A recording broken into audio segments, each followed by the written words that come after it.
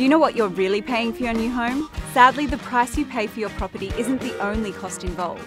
So don't get caught unaware partway through the buying process.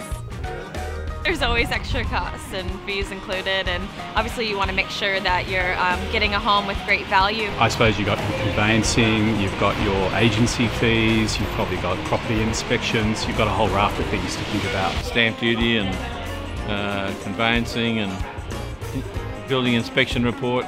Property prices are high at the moment, and so your stamp duties are one of the things you have to factor into, you know, your financing. Yeah, it's a, it's sort of a bit of a deterrent, I think, in a way, for moving moving properties.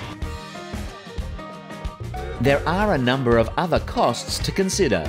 Stamp duty usually needs to be paid within 30 days of settlement. It's dependent on the state you buy in and the price of the property, but in New South Wales, a $600,000 home will have an additional $22,000 stamp duty tax.